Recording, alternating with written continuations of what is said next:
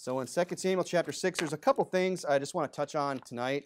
Of course, the real familiar passage. Uh, everyone's probably heard this story at some point. Uh, the real famous passage about, uh, you know, bringing the ark back and Uzzah being killed uh, for having touched it. And you, you know, you might read that the first time. You might hear that story and think, boy, that seems kind of harsh. But you know, God specifically told the children of Israel that they weren't even to look in the ark. You know, and that there was a very specific group of people that were to do, uh, you know, the duties pertaining to the ark. Those that were supposed to transport it. He was very specific in how he wanted things done. And, you know, we talked about that last week uh, about how God wants things done a certain way and how it's important that we don't just make up our own ideas about how we're going to do things when it comes to the house of God. And I just want to look at that again real quick. Is, you know, David's error when it came to the ark. There's really, you know, a couple things that he does wrong here in the story. And the first thing is, is that he uses the wrong guys. You know, he gets the wrong guys. It says there, again, David gathered all uh, together all the chosen men of Israel, 30,000. And David arose and went with all the people that were with him before Baale of Judah and jump down to the end of verse 3 there, and it says, And Uzzah and Ahio, the sons of Abinadab, drave the new cart. Of course, that's where he put the ark. We just read that. But it's these two sons of Abinadab, uh, Uzzah and Ahio, that end up doing, you know, handling the cart. And these guys are not Levites. These guys aren't priests. These are guys that just, you know, he picked out. Now, some people will try to say that, yeah, that these, that, that, you know, the sons of Abinadab, Abinadab, you know, was, was sanctified, and, but he's, there's no evidence, you know, he was anointed at one point, but there's no evidence in Scripture that says that he was a Levite. You know, some people try to make that conclusion. I just don't see it in Scripture. I don't see where these guys are Levites. In fact, if you want to go over to uh, First Chronicles with me, First Chronicles chapter number 15, you know, that was the, David acknowledges that was the exact problem that he had, that he got the wrong guys to do this job to begin with. He, he himself even, you know, acknowledges that. So to sit there and say, well, you know, he's, these were Levites, it was just that they did it wrong. You know, that it's actually two things that went wrong here. One, he got the wrong guys to do it. It was supposed to be the Levites, and then you know he did it the wrong way. And it says there in uh, uh, First Chronicles chapter 15. I don't want to read all of this. Go to uh, verse 11. And David called for Zadok and Abiathar, the priests for the Levites, for Uriel and Asaiah and Joel and uh, Shemaiah and Eliel and Amminadab, not Abinadab, which we just read about, but Amminadab. And he said to them, Ye are the chief of the fathers of the Levites. Sanctify yourselves, both ye and your brethren, that ye may bring up the ark of the Lord of the Lord uh, of the Lord of God of Israel unto the place that I have prepared for it. For because ye did it not at the first, the Lord God our God made a breach upon us. So this is, you know, a parallel passage where he's saying where he's going back to get it the second time and bring it back. And now he's saying, well, let's get the Levites. Let's get these specific priests to do it. And he's saying there, you know, uh, he said in verse 13, For because ye did it not at the first, which is what we're reading about tonight, the Lord our God made a breach upon us. He's saying, why did Uzzah die? Why did he have the breach upon Uzzah? Because the wrong guy was doing it, because the Levites weren't involved, okay? And, you know, what we can learn from this is that, you know, qualifications matter. You know, people need to be qualified for certain jobs. All right. You know, even the world understands this. You know, you can't just walk into any old job without certain qualifications. You know, of course, there are jobs out there where the only thing you need is a pulse, you know, but those typically aren't, you know, the high paying jobs. Those aren't the jobs that, you know, have specialty uh, skills required. You know, there are a lot of jobs in the world where if you don't have the proper training, you know, if you don't have the proper education, if you don't have the experience, you know, you're what? Unqualified. Okay. So that's one way to look at it. But, you know, more specifically here, when it comes to serving God, qualifications matter. Qualifications matter. Go over to, uh, you know, the very familiar passages. We all know these, but uh, just go over to uh, Titus chapter 1. Titus chapter number 1. You know, there are qualifications in 1 Timothy 3 and Titus 1 that tell us you know, that there are certain qualifications for what? For the bishops and the deacons. You know, not just anybody can get up and just, you know, be the preacher, be the pastor, be the deacon. You know, there has to be qualifications that are met. And I, I don't want to take the time to go through all those tonight. Okay, you, you know, we probably are very familiar with those.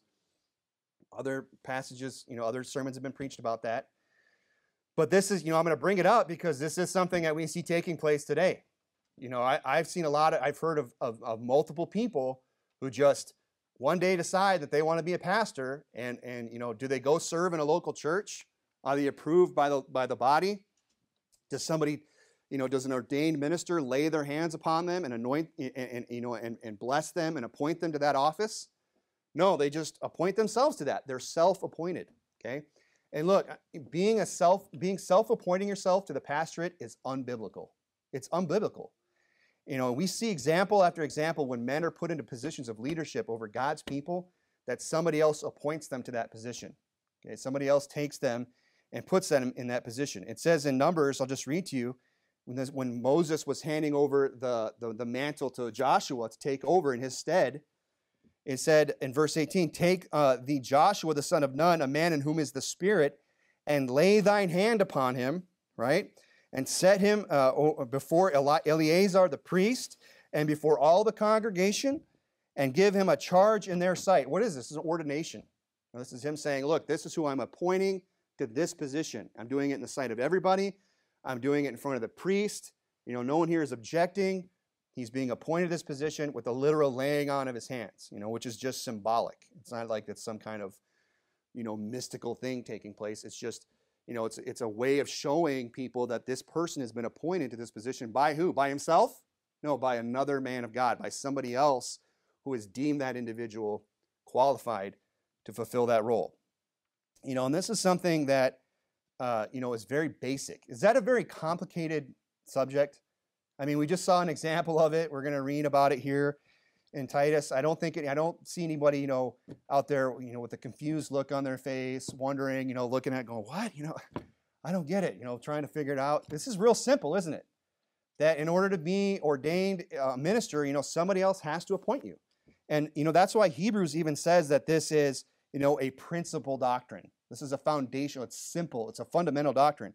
He said in Hebrews 6, therefore, leaving the principles of the doctrine of Christ, let us go on to perfection, not laying again the foundation of repentance from dead works and of faith toward God, of the doctrines of baptisms and of laying on of hands. What's he talking about? About ordaining. That's what laying on of hands is. It's ordaining somebody. And of the resurrection of dead and of eternal judgment. He says these are the principal doctrines of Christ. These are the simple things things like you know salvation you know repentance from dead works he's talking about i mean salvation is a very elementary topic isn't it of course there's a lot of great deep truths in that but as far as what it takes to understand the gospel it's very simple it's a very simple understanding that's needed you know faith toward god baptisms is, is baptism a real deep complicated doctrine there might be a lot of deep symbolism there might be a lot of you know things we could draw from that. But as far as just understanding what baptism is and what it isn't, you know, that's pretty cut and dry, no pun intended. Right? That's just, you know, you go under, it's, it's a picture of the death, burial, and resurrection of Christ. You thought that was funny, you? that was really not intended. But it's, it's really that simple, isn't it? That's how simple laying on of hands is, too. That's why he calls it a principal doctrine. Well, how do you get into the ministry? Well, you know, somebody has to approve you. The local body approves you. The pastor approves you. You know, and it's not like the local body votes and says we do or don't approve. But before you know, the pastor go uh, ordains somebody in a, into a role like the like like the evangelist, or we, a lot of people call a missionary, or the deacon or the pastor. Before he does that, you know, he'd probably ask around. He'd ask people in the church, people that he's close to, that person's friends. He would get, you know, if he see if there's if he has what a good report of them which are without and within too. You know, if there's if you have a bad report within, you know, chances are you have a bad report without. But he would make sure there's no issues with that person, right? He would be somebody that is what approved of the congregation, you know, and then he would put his hands upon him and say, "Then I also approve of him and appoint him to this position." You know, that was the problem that that that David had here. You know, he just appointed whoever he wanted to do the work of God. And did things go well? No, they didn't. You know, somebody died. You know, now I'm not saying that if you go to a church where there's a self ordained pastor, that somebody's going to die. But you know what? It's not what God wants. It's not how God does things. And here's the thing people say, well, what, what should I do? You know, I go to, I live in a town where there's not a lot of options for churches. The only church I have, the guy is self ordained. Well, you, you know, and this is just a matter of opinion, okay? But my opinion is this beggars can't be choosers. Beggars can't be choosers. You know, and unless you're willing to make some sacrifices and make some big moves in your life, beggars can't be choosers. You know, now me, what I would do if I if I was living in a town where I only had one you know, one good, you know, good church to go to. There was just one option, and I found out the guy was disqualified. You know, the pastor was never qualified or disqualified, or he's self-ordained. I'd either just shut up and go to that church and try to be a blessing, or I'd pick up, I'd pull up stakes and move, which is exactly what I did. Now that wasn't the case where I was at. You know, I did have an ordained pastor, but you know, I decided, hey, I want to go to a place. You know, I'm going to go to the best church possible that I know of. I'll move my family. You know, but if you're not willing to do that, if you're not willing to make those kind of sacrifices, then you know what? You need to just, you know, just go there and be a blessing and just, you know, obviously somebody, even if it's an unqualified guy, let's say he's not self-ordained, but he's just unqualified, obviously somebody looked at that individual and said he he's got enough merit that I'm going to go ahead and ordain him. Okay? And look, this goes on a lot in Bible colleges. Let me just go ahead and burst the bubble, okay? Bible colleges send out guys that are biblically unqualified all the time. I know that they've sent out people that aren't even married. Look, that's a qualification for the pastorate to be the husband of one wife, to be the husband, not not engaged, you know, not dating, you know, not not a pro, you know, looking for a prospect. You know, that means married with children. You know, that means years have gone by. There's been a length of time in marriage because if what if he does he know not how to rule well his own house, how shall he take care of the church of God? That's a major qualification and I'm telling you right now, Bible colleges, they just look right over that. And they send out guys all the time, oh, you'll find a wife when you get there. Go pastor this church. It's so, look, I know people are desperate for churches. People need good pre- churches, but you can't just take God's word and just say, well, you know, we just, you know, it's just, we know that's what it says, but God will understand. No, God won't understand. You know, I mean, David, is that what David could have said? Look, we just want to get the ark back. was David's motives right? Were they good? Yeah, he wanted the ark of God. He wanted to serve God, but he went about doing things his own way. And did God approve of that? Well, you know, I, that's not how I said to do it. But I'll let you slide, David. No, he killed the guy for it. You know, Uzzah died as a result. Okay, so God takes uh, takes it very seriously. You know, and we should too. And we should take the qualifications that God puts upon the office of a bishop or a deacon or what have you seriously and not just, you know, uh, think that everybody that just gets up behind a pulpit and says, I'm a pastor now, is somehow legitimate because they're not. And there's a lot, you know, there's more out there. I've seen so many, I've probably forgotten about some of them. About some of these guys that get up and just ordain themselves and just start a church. You know, and you say, well, what's the problem with that? You know, here's the problem with that is that you say, well, how do you get into the ministry? You know, how do you get ordained? Well, you serve in the local church to begin with. And that's the problem with guys who just want to self-ordain. They don't want to serve. I mean, I know one guy, he, he's, he's, he's ordained himself. He went and started, he just started some church in his living room. And I'm not against churches and, starting houses, right? We know plenty of good churches that have done that. But he just starts his church. No one sends him out. He wasn't even in a church before he's a pastor. He hasn't even learned the ropes of, of serving in the local ministry. You know what it takes to sacrifice and just and do things behind the scenes unnoticed. You know you, how do you get into the pastorate? I don't know start by scrubbing a toilet you know? Because guess what? That's what you're going to be doing in the pastorate you know? You're going to go ahead and scrub you'll probably still be scrubbing toilets and running vacuums and everything else. And if you're not willing to do that as just a layperson you know you're not going to be willing to do that as as a pastor okay so that's kind of why it's a big deal. You know, that's kind of why I'm taking a minute to park it on this point because you know when guys are just self-ordaining themselves and and going into the ministry all willy-nilly, just you know, I feel like I'll be a pastor today. Who's to say that they're not going to feel like being a pastor tomorrow? You know, but a guy that's that's that's put in the time, put in the effort, met the qualification, has you know invested in that, meeting those sta- those qualifications, he's a lot less likely to just you know go off the rails. of course, it's no guarantee, but you know that's kind of why I'm taking a minute to go over it because it is important. I mean, it's important to God. Look at uh, you're in Titus chapter one, right? I'll read to you from 1 Timothy 4, going back to this idea of laying on of hands, right? This is a biblical doctrine. He said to Timothy in 1 Timothy 4, Neglect not the gift that is in thee, which was given thee by prophecy with the laying on of hands of the presbytery. You know, there was a prophecy given, there was a preaching service, there was, a, there was a charge given in the sight of God with the laying on of hands of the presbytery. You know, Paul and the elders of that church, they approved him, okay, of, of, of him going into the ministry, okay? Titus is another guy, right, that was put in the ministry. It says in 1 Timothy chapter 5, or Titus chapter 1, excuse me, Titus chapter 1, verse 5, For this cause I left thee in Crete, that thou shouldest set in order the things that are wanting, and ordain elders in every city, as I appointed thee.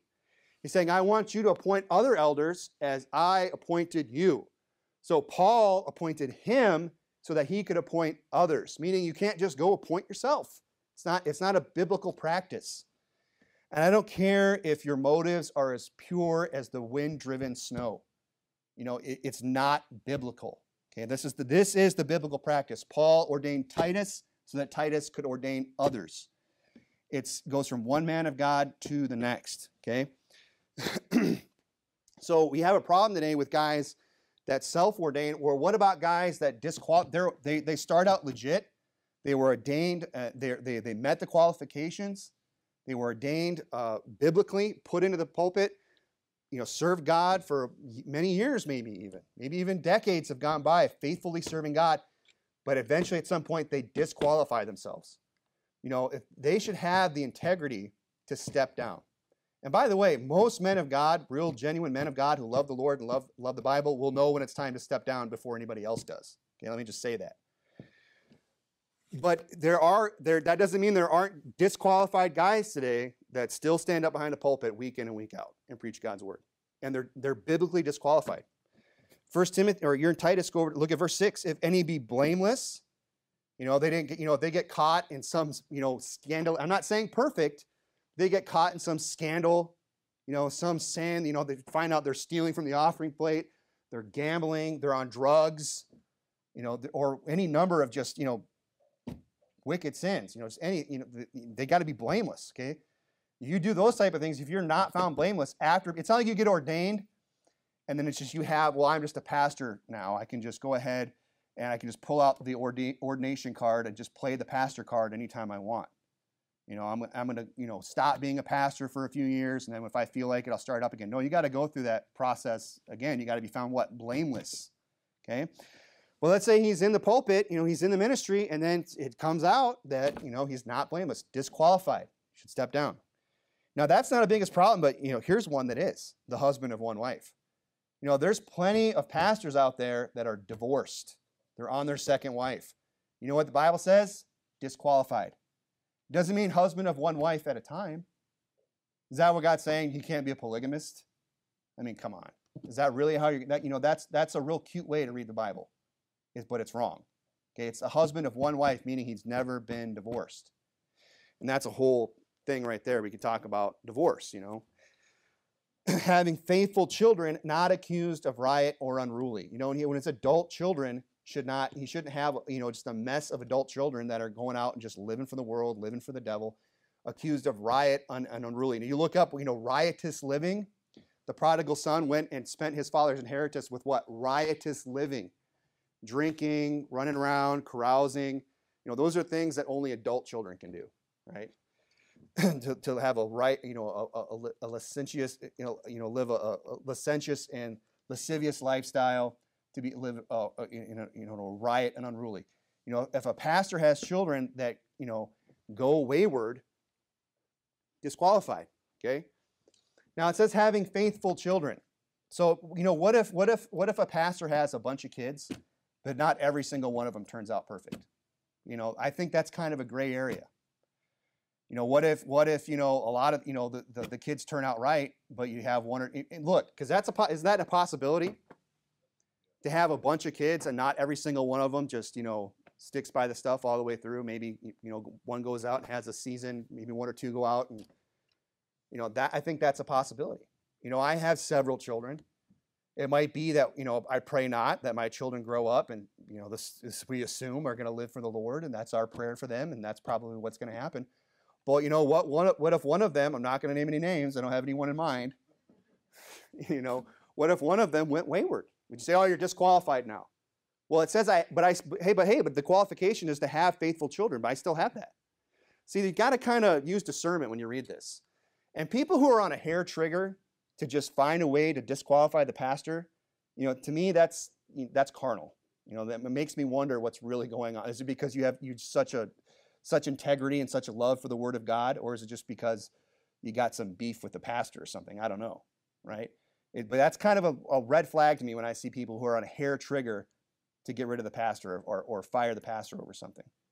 You know, and, and this could be one way that people try and do that. You know, if one of my kids, you know, goes goes wayward as an adult, but the rest of them turn out great. Well, you know what? I've met this qualification. That's my opinion. Now, people can argue with me about that and be wrong. but that's what this is what you know, this is what David did. This is the error that he made with the ark. He just appointed whoever he wanted to do God's work, and it didn't turn out well, did it? He did things with the wrong people, and not only that, but he did things the wrong way, right? He did things the wrong way. It says in verse 3, back in 2 Samuel 6, and they set the ark of God upon a new cart. Oh, it's a new one. At least we got a new one. You know, it wasn't the old cart that was been drugged behind, you know, through all the manure and everything that the mules have been carrying around it. You know, it's, it's not full of a bunch of hay and, and, and everything else that we've been using it for. No, we took the time and we got a new one, Lord. God's not impressed with your new one, okay? And that, you know, that's, and we can apply this to churches today, right? Is that they have a lot of new ways of doing things, don't they? There's a lot of new uh, ways of, of serving God in the local churches. You know, a lot of, lot of these new evangelical churches, new evangelical churches that want to change the way that we've done things for, you know, millennia and just start because they think it's new or better. You know, we want to get rid of the King James Bible. We want to get rid of the traditional music because this is new. Yeah, but that doesn't necessarily make it better. And it doesn't necessarily mean that God approves of it either, just because it's new. That's what they did. They set it on a new cart and brought it to the house of Abinadab, which was in Gibeah, and Uzzah and Ahio, the sons of Abinadab, drave the new cart. So they had a new way of doing things. This is not how they were supposed to do it. I should have had you keep some First Chronicles, but I'll just read to you in verse 15, chapter 15, verse 14. It says, So the priests and the Levites sanctified themselves to bring up the ark of the Lord God of Israel, and the children of Israel and excuse me, and the children of the Levites bear the ark of God upon their shoulders with staves thereon, as Moses commanded according to the word of God. So was, was it Moses' idea that they were to bear it on their own shoulders, that the, these specific people were to bear the ark upon their own shoulders? Was it his idea? Or was it that he commanded it according to the word of God? Look, I don't, I'm not interested if something's new or even better or whatever you want to call it. I'm interested is it biblical? Is it what the Bible teaches? Are we doing things the biblical way? That's what we should strive to do when it comes to any area of our life, but especially when it comes to serving God in the local church. The way the churches should be run, what it's about, what we do here. It should be is it according as the as, to the word of God, as God commanded. And not just try to find new ways of doing things. Okay, and that's what people are, are real guilty of today. They want to find new ways of doing things. You know, they want to, uh, you know, uh, get rid of the old, get rid of the, the King James version, and get what an easier to read version. You know, they don't want to bear that ark of having to learn the these and thous, which are just so hard. You know, ye, your, thee, thou. I can barely pronounce it. And you know, that has serious, and did you know those words are there for like thee, thou? and ye your mean two different things. Ye your is, is a group, thee thou is singular. You know, one's plural, one's singular. That matters. But if you get rid of all of that and just say you, I don't know who is the is he is the Bible talking to a group of people or an individual now. See how the these and thous are important? You know, and I'm not to mention all the other things that they want to change. And, and change the text and the way it reads and take verses out and, and debate whether or not it should even be in there. They want to change, they want to get rid of the, the King James Version and bring in some new, easy to read version. And you know what? They, people might look at it and say, oh, this is better. It's really not. It's really not better. This is the standard by which all other Bibles are judged by in the English version, the English language. This is the one that even the world lifts up and says this is the greatest work of English literature ever made. This book has had more, no other book has even come close to having the profound impact that it's had on the world as the King James Bible. Doesn't even come close. They want to say, oh, it's better. It's not even close to better. I remember the 400th year anniversary, uh, the 400 year anniversary of the King James Bible, even National Geographic did like a huge piece. National Geographic, not exactly, you know, your conservative right wing, you know, uh, publication, okay? It's a bunch of environmentalism and everything else. But even they, a publication like that, a group like that said this is a literary masterpiece. And of course it is, because it's written by God. Anything that God wrote would be amazing, right? And that's why the King James Bible is the, the true and tried, the standard by which all others are measured. Okay, but people today, they want to get rid of this. They're tired of this, this on their shoulders. They're like, oh, this is so hard to read. Read something better. You know, let's get let's get a, let's get the Ahio version. Let's get Uzzah version in here. God says no, disapproves. God God does not approve of it. What about you know practices when it comes to preaching the gospel? You know, instead of going out into the into the highways and hedges, you know, instead of trying to preach to every creature like the Bible says, instead of following the the the the example of Paul that he preached publicly and from house to house and from door to door. Instead of doing that, what the Bible actually teaches, let's just bring everybody here, have a seeker sensitive service. Well, we'll just, you know, we'll, we'll, we'll find out what kind of music people like. You know, we'll just change the lyrics or, you know, to some Bon Jovi or Metallica song and get a bunch of people in here. We'll just look like the world, we'll just act like the world, and we'll just bring the world in here, and then we'll preach them the gospel in the house of God. And then we'll just make sure every Sunday that every message is just a gospel message. Now, would that be easier than door to door soul winning? Yes, it would. Yes, it would. And if you haven't, you don't think so, you probably haven't done much soul winning. You know, you should come out on Saturday. You should come out on Sunday, especially this time of year. That's hard work to go out there. Anyone who's done it for a length of time knows it's hard. Part of the hard work is just to stay motivated to keep doing it, right? That's why I'm always bringing it up. Keep us motivated. Keep us motivated to go out there and do the hard work of soul winning having people say, not interested, not interested, not interested, being out there in the heat. It's hard work. Would it be a lot easier if just every, all the people we want to preach the gospel to just showed up here and then one guy could just preach the gospel once and have an invitation? You know, logistically speaking, that would be much easier, wouldn't it? But is that what God ordained? Is that what God wants? No. God wants us to bear a part in the ministry. God wants to put a burden on us. God doesn't want it to be easy. Because, you know, uh, like I preached a while back, easy come, easy go. Looking for easy, you take it for granted. But when you're putting in the sweat, when you're putting in the hard work, when you're learning the verses, when you're, you know, getting over the fears and the hesitations, when you're the one that's putting in that hard work, you know what? It's much more rewarding for you.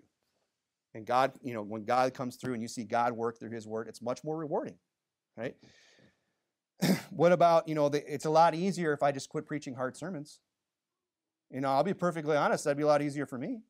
If I didn't have to, like, oh, got to deal with some sin or I got to get up and preach some unpleasant topic. Because look, we have to preach some unpleasant, and we just got out of June, folks. We all know I had to preach on some unpleasant topics. Look, and that you can't ignore that. You have to preach on that.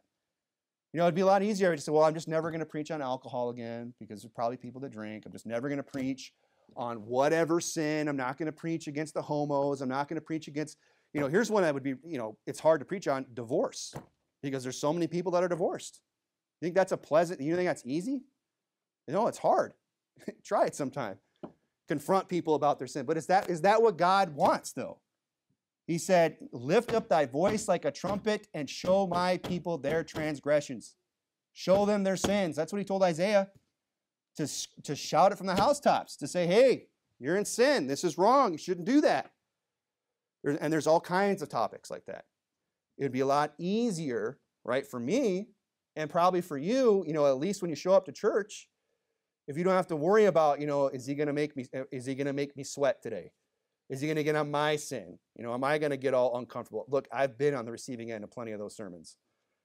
I've gotten there like, oh, is this done yet? You know, want to just slither out the door and go get right with God. I've been in those services, right? It'd be a lot easier for everybody, eh, you know, if we just said, well, we're just going to preach gospel here. We're just going to do, uh, we're going to do a 40-day series on grace. This whole year, we're just going to preach on nothing but grace. You know, we're just going to have one service a week. We'll have two services if you want to sleep in, but it's the exact same service. I'm going to have a 10:30 and then I'm going to have like a 1:30. They're both the same service. I'm preaching the same message, just whichever one's more comfortable for you to come to. You know, and we won't do. We'll do it. It will be a lot easier for everybody. You know, technically speaking. But is that what God wants? No, he said, you know, we need to meet together the more, not the less. We need to come together the more as we see the day approaching. And the preacher's job, job is to get up and to preach hard sermons, not just do things the way he wants, but to preach the whole counsel of the Word of God. Because here, people would say, well, that's easier, isn't it? That's easier to not preach on like that. It'd be so much easier for everybody. You wouldn't have to you know, uh, make be, make yourself into the bad guy. People wouldn't have to feel uncomfortable or get angry or upset. you know, it would be so much easier for everybody involved, but is that really what's best? Is that really what's best? No, it's not. Because here's the thing these you know new evangelical these non-denom churches that preach like that don't want to touch certain subjects with a 10 foot pole that are going to avoid preaching on controversial or subjects that'll make up people upset you know what those churches are full of sin they're full of sin. There's fornication drunkenness adultery. There's all kinds of sin going on in churches like that. They're dens of iniquity. And i don't care if they how they can come in and they can get their lattes in the back lobby and they can sit there with a smile on their face and, and talk about their golf swing or whatever else they do and just have a you know a social club. But their lives are full of sin. Because if it's not being preached against what motive do you have to get right that's the truth that's why we need preaching that's why we need hard preaching you know what i found as a preacher is that people want hard preaching not everybody but there's some people they want they're like i want to come to church and have you rip my face why because they actually care about the things of god they actually care about living for the Lord. They actually care about, you know, hearing the preaching of the Word of God because they want to get right. I mean, I know that's I, I know lots of people like that. I mean, that's how it is for me. I love coming to church and being challenged and being to change and to and to get right and to, to live for the Lord. Okay? Gives meaning to life. So it might be easier to just not preach on those subjects, but the way of the transgressor is hard, the Bible says. So the, the real hard thing is to just let people live in, in, in, in sin. Because if they're God's children, God's not just going to stand idly by and just let his children live in sin. You know, he's going to get out the, the, the holy paddle and go to town, right, on some, on some spiritual backsides, right, in people's lives. That's how God works. So, you know, why don't we just take care of that here Sunday morning, Sunday night, Thursday night? Why don't we just take care of that here as we preach through the Word of God? You know, it might be hard while we're here you know, no chastening for the for the moments is pleasant, but afterward it what yieldeth the fruit, uh, the, the the peaceable fruit of righteousness by those that are exercised thereby. I know I'm messing that up, but you get what I'm saying. All right. Why don't we just take care of it here in the house of God and, and, and get it right out there? That's what David did wrong here, right? He did things that he just said, well, I'm going to point whoever I want, and we're going to do it however we think is best. And God said, no, that's not how you're going to do it. You know, I'm, I'm just gonna, I'm kind of loading the truck a little bit tonight. How about this one? Here's another example of people who want to just do things their own. That you know, God has a model, God has laid things out, and then they say, "Well, no, I have a better idea." They, we, we're, we're smarter than God here. How about on the you know the idea of having two uh, two incomes versus a work at home mother? Notice I didn't say stay at home mother. Okay, I said work at home mother. Okay, because that's what it is. You know, I'm not uh, I'm not against that term, but I started to write that in my sermon. I'm like, wait a minute. If I just get up and say stay at home mom, that kind of sounds like lazy. Now, are there's just stay at home moms? Yeah, there are, right? Stay at home, stay in bed till 11 a.m. moms, whatever. But you know, if a mother is fulfilling her God given role as a wife and a mother, that's a lot of work. It's a lot of work. And you know, I don't feel like I have to make that case. You know, any, you know, the ladies, I see a lot of ladies' heads going, mm-hmm. They wish they could say it. They want, Amen, right? I got you. I, I feel that, right? It's a lot of work. But is that what the world says? That's a good idea for you to stay at home and uh, ladies and raise your children and homeschool and, and, and do what the Bible says, be a keeper at home. That's what the Bible says. I will therefore that what younger women marry, guide the house, and give none occasion for the adversary to speak repro- reproachfully. For some are turned aside already after Satan. Right? That was what Paul wrote. He said that the women, the younger women should marry, bear children, and guide the house. What's God's will will for for young, for for for ladies? That's it. You just you know I just quoted it to you. Is that what the world says? Is that what even a lot of these new churches say? The new Cart Baptist Church, Pastor you know Uzzah, Pastor Ahio. Is that what he's going to say? No, he's going to say, oh, there's nothing wrong with having two income. I've been in Baptist churches where they tell me that you should have more kids than you can afford. I'd have exactly none then because I haven't afforded any of them. You know, I mean, when I got married and you know we're going to have kids, you'd have told me, well, you're going to have, you know, we're up to five at this point. I said, I can't afford that. You know, but that's what I've heard in Baptist churches. That's what they get this philosophy in their heads too. That's why I'm taking the time to preach about it because it's not biblical, and it might be easier, you know, to send mom off to go put on a name tag and a hairnet and go work at, you know, behind some cashier as a cash register. Or maybe she's got some great paying job. You know, maybe. And it might be easier to have two incomes. You have a bigger house, more vehicles, more vacations, more nicer things. But you know, but the kids are you know getting indoctrinated at the public school, you know, or you know the marriage is a wreck, or you know, you know they you know adultery happens in the workplace. That's where a lot of adultery takes place is at the workplace, those relationships. And like that's a whole other sermon. I'm just, you know, I got to move on. I'm, I'm way past where I need to be already. But you know, that's a good example of people who what? They want to do things God's way. Or excuse me, they don't want to do things God's way. They have a better idea.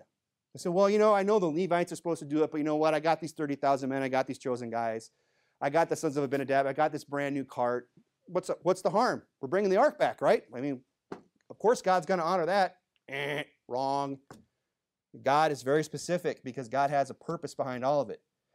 What's the purpose in making sure that the Levites do it? Because he wants people that serve God what? To bear a burden. you know, the Christian life isn't supposed to be easy.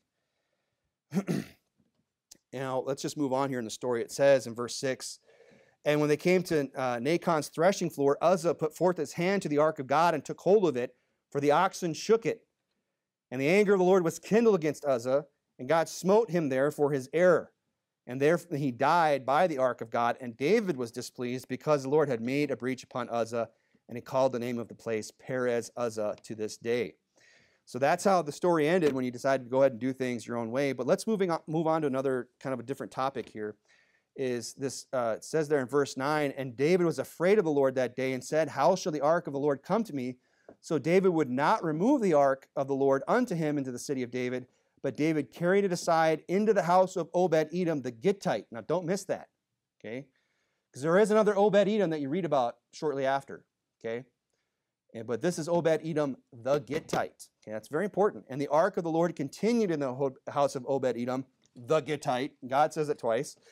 Three months, and the Lord blessed Obed Edom and all his household. So, what's the significance here? Go to 2 Samuel 21.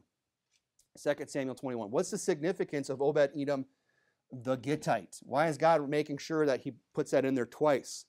Is it just to, you know, distinguish himself from the, the other Obed Edoms of the Bible?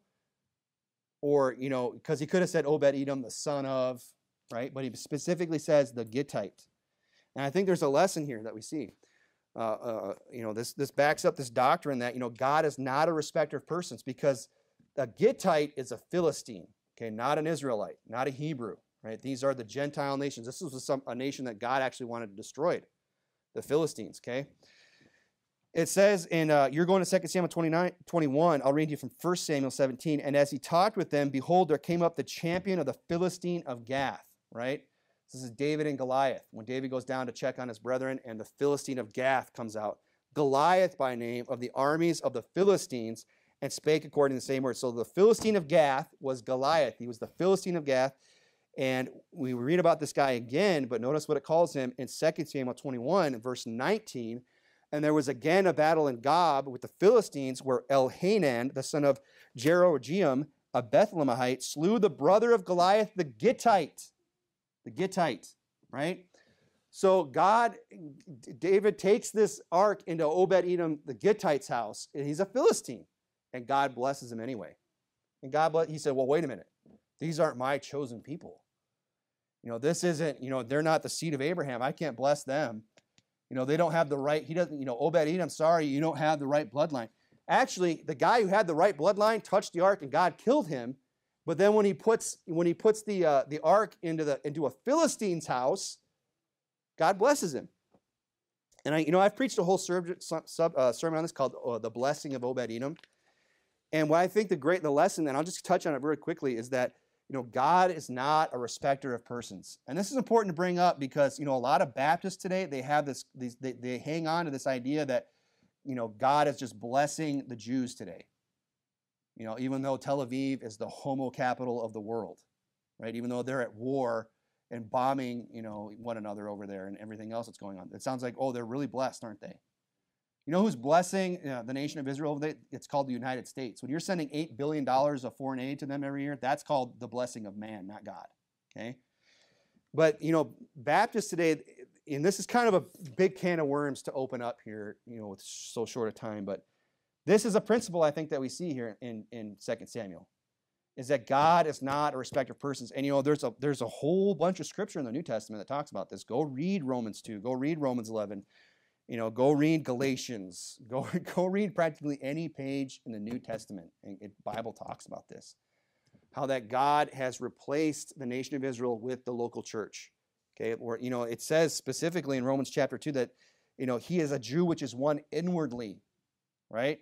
And circumcision is that of the heart and the spirit and not in the letter, whose praise is not of men, but of God. He says he is not a Jew which is one outwardly, who's, you know, uh, neither is that circumcision which is outward in the flesh, but he's a Jew which is one inwardly. You know, the real Jew today is me and you.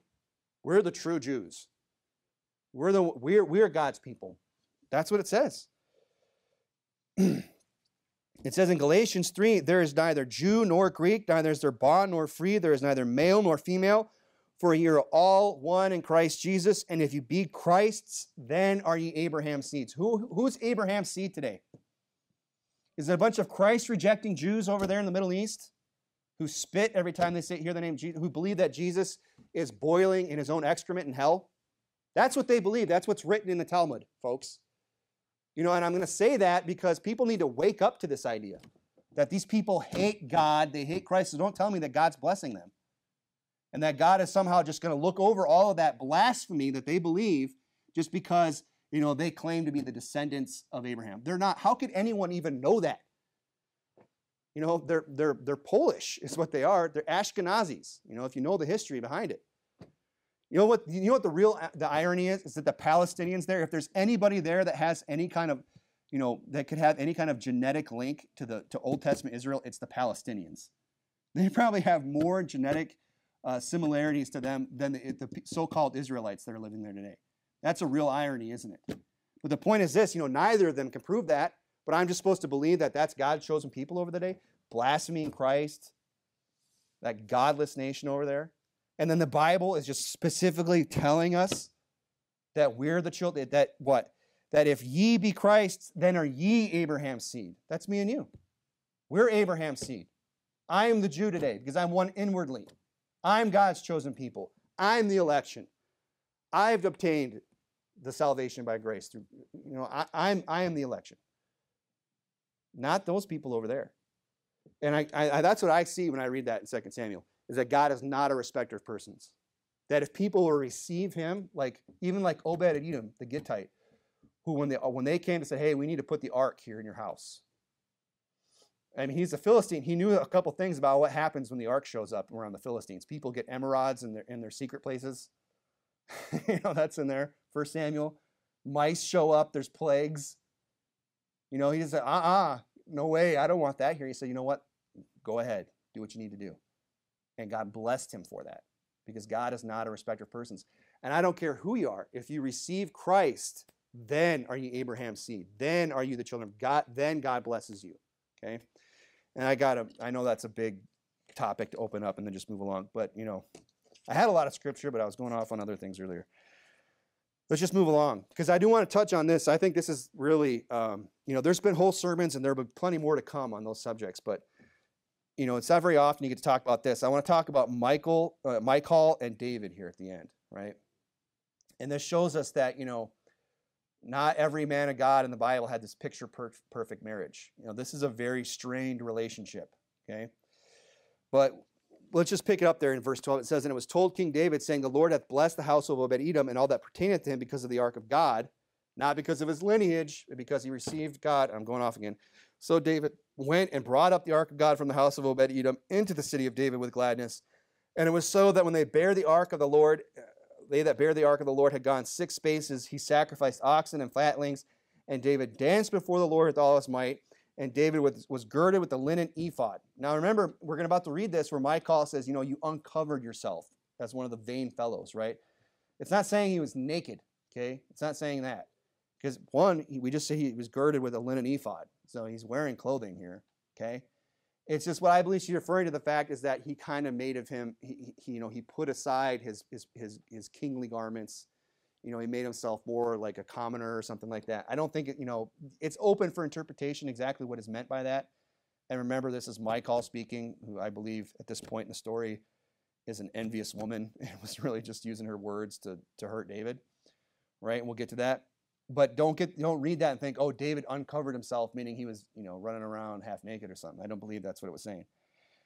It says, So David and all the house of Israel brought up the ark of the Lord with shouting and with the sound of the trumpet. And as the ark of the, uh, the Lord came into the city of David, Michal, Saul's daughter, who was his first wife, if you know the story, that was who David married. Okay, this is his legitimate wife. This isn't one of the many wives he took afterwards. Okay, and remember at this point in the story, he's already begun. He's has a multitude of wives, and he's begun to to to multiply not only wives but also concubines. This is where David's at in the story. Okay. And Michal looked through her window and saw King David leaping and dancing with the Lord, and she despised him in her heart. Now, here's the thing you got to kind of understand, you know, how people are. Okay, you got to understand something about human nature. I don't think that Michal was just perfectly satisfied in her marriage with David. Everything was just great, and then she just sees him leaping and dancing before the Lord, and all of a sudden she despises him in her heart. Okay, I think what's this is, you know, David's actions, you know, provoked her at this point. This is this, this has been a my opinion is this is that she's probably at this point has a simmering resentment of David that's just kind of been there, and now it's finally kind of it's it's you know boiling over at this point. Because you're gonna sit here and tell me, I mean, that everything was great up until now, every just the perfect marriage until now. You know, remember before, you know, when she she uh you know, when, when David has to flee, you know, she's lying to her father to save David's life. He's gone for years, doesn't see him, gets married off to another man We read about that a couple weeks ago, right? He gets she gets married off. Then David comes back and says, "You know what? Come on home, honey." Doesn't say she was glad to do it, right? We don't really know what her reaction was. You know, if uh, Phaltiel, I believe it was, he was he was pretty upset by it. You know, it wasn't like you know, oh, you know, good riddance. You know, and maybe she felt the same way. We really don't know. But I have what I'm getting at is this: is that she's not just think. I have a hard time believing that this was a great marriage, great relationship, and then this just this is just too much. There's been a lot of things that have gone on in this relationship that are not good, right? And this is just, you know, her resentment coming out, right? Because David's offended her previously. I mean, he's like I just said, multiplying wives, he's got concubines. Look, that women are, you know, uh, very envious, and rightfully so, you know, of who their husbands give their attention to right? When you when you take that vow of say, you know, un, you know, uh, you know, keep I will keep myself only unto thee. They take that seriously. We all should, right? That's what's meant by that. So when David, you know, is having multiple wives and concubines, you're going to tell me that that wouldn't get under her skin. I mean, ask yourselves that, ladies. Wouldn't that bother you? You know, you know, your husband puts the the pinup poster out in the garage. That should bother you. You know, that that you say, well, you're, you're such a prude. No, that she's right to be upset by that kind of thing. And you know what? Michal in this story, maybe she doesn't do it right, but can you really blame her for her actions? You know, maybe she's not everything she's not 100%, but let's be honest, David's not exactly squeaky clean here in this situation either. and what the, we can learn from this, and I just want to make this application, is that, you know, envy is a very powerful emotion. Envy is a very powerful emotion. And we should be very careful, especially in the relationship of husband and wife, not to harbor or instill that. You know, we don't want to hang on to envy, especially if it's unwarranted. You know, you kind of, but we also, as uh, you know, we don't want to instill that in our spouses either. Make them envious of the fact that maybe somebody else is getting our attention. Maybe it's not even a person. Maybe it's not even a relationship. Maybe it's a job or something like that you know, or maybe it's, you know, the kids get all the time now and the husband doesn't get any time, or the, the job gets all the time and the wife doesn't. It could be any number of things. There's a lot of things that people could get envious about in that relationship. We just need to be careful not to provoke that. But, you know, especially when it comes to a relationship like what was going on with David, where he has, he's giving his time and affection to other women than his actual wife, right? And, you know, people, this is what just always boggles my mind is that when I've known people that have gotten into an adulterous relationship, and then they're shocked that the offended spouse, you know, who was cheated on, you know, who, whose spouse had committed adultery, you know, that they're, they're shocked that, oh, their spouse is upset with me, that I, you know, committed adultery with their spouse. Are, are, really? That really, that's, that's, that's like a news to you? Like, and the Bible says wrath is cruel and anger is outrageous. Look, wrath and anger are bad enough, right? You ever just make somebody really mad at you? You know, sometimes it's hard to put that fire out, isn't it? You get someone really, mad, or if you're the one that's really mad, sometimes it, it takes a lot of work to calm down and to not lash out, right? And to, but the Bible says that wrath is cruel, anger is outrageous, but who is able to stand before envy? You know, it's saying what cruel eh, wrath is bad, anger is bad, but envy, you don't have a chance when it comes to envy. And look, if we instill envy in our spouses, you know what? We shouldn't, it shouldn't surprise us when it comes back around on us. And when they finally lash out and that relationship goes sour, it, we really shouldn't be shocked by that. That's why we should work hard not to instill envy in our spouses.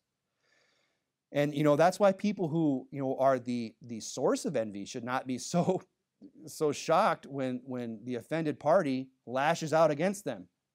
You know, and there I've heard stories.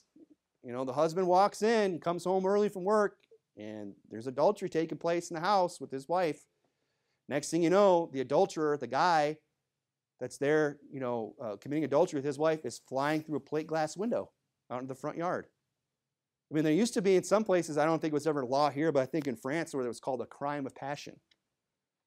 Where if you caught adultery, you know, some, if you walked home, came home and you found uh, that your wife was committing adultery on you in the act and you killed that man in, the, in a fit of rage, they would let you go. Because it's understandable, because, well, what do you expect to happen? It's his wife. You know, and people should not be shocked when that kind of thing happens.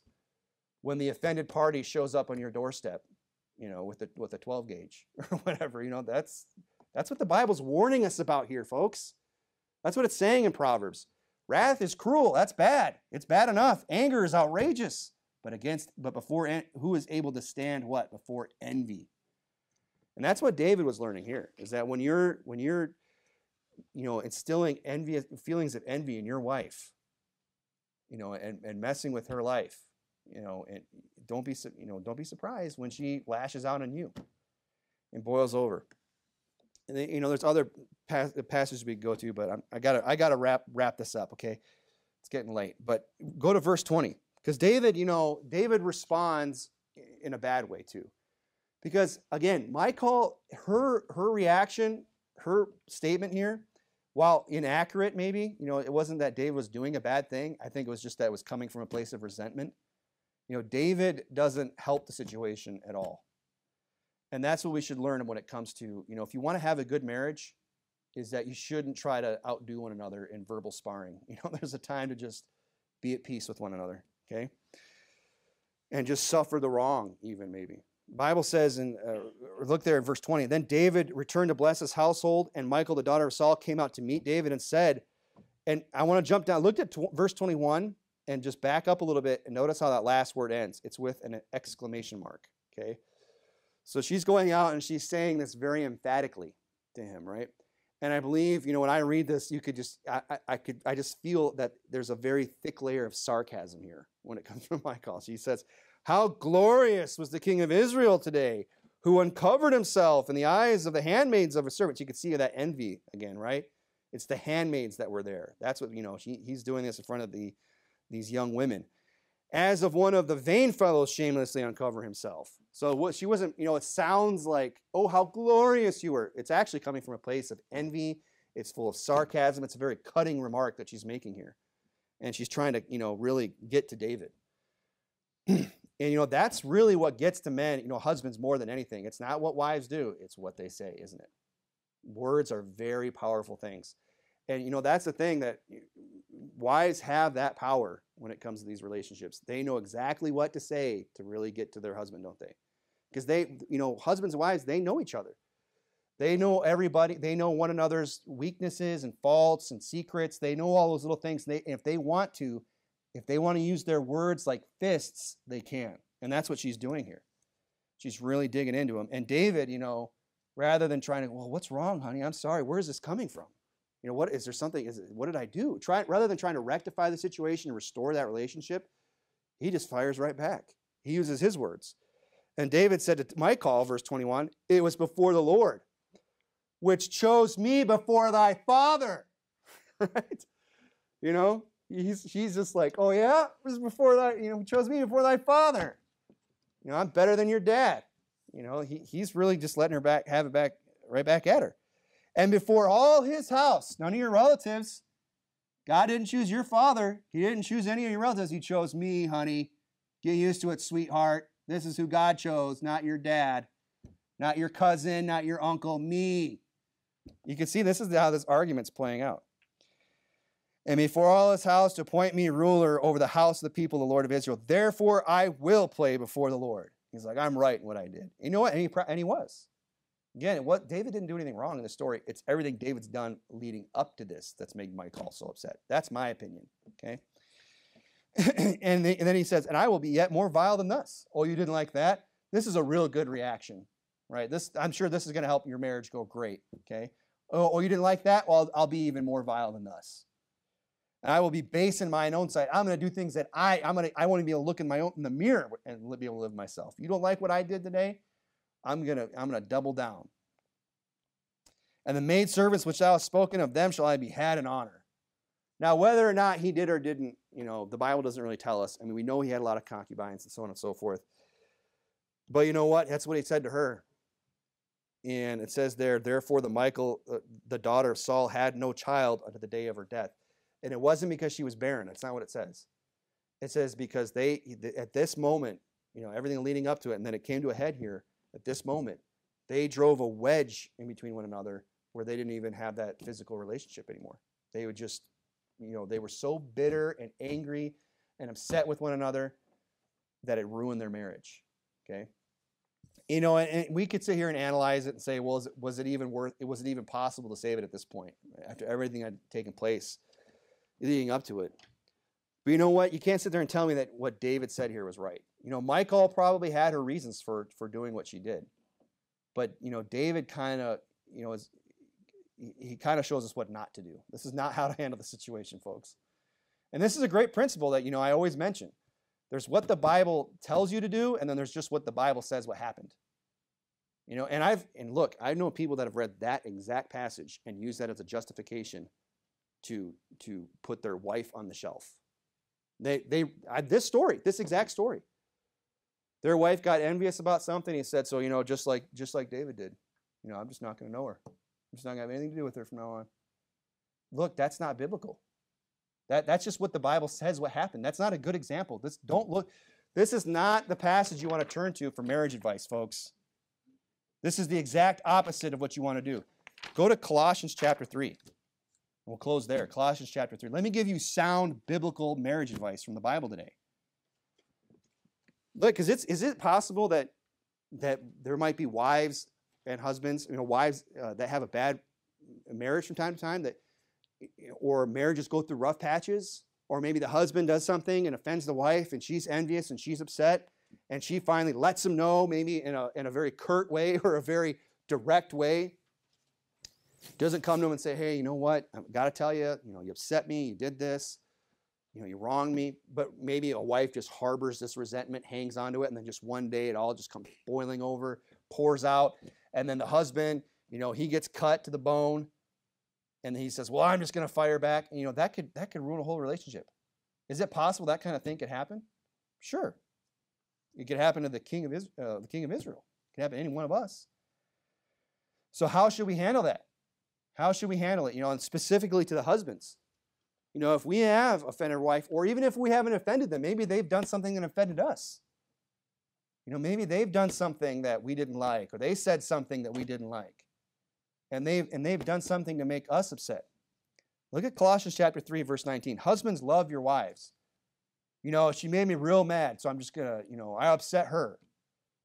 I made her real mad, so I'll just get her some flowers on, on Valentine's Day. You know, I'll just do something nice. Oh, I'm loving your wife. Is that what it means to love your wife? No, you do those things because you love your wife, right? You know, loving your wife is is, you know, it means you let things go. Look, if you love people, you let things slide. You let things go. You don't hold things over people's heads. That's why it says, Husbands, love your wives and what? And be not bitter against them.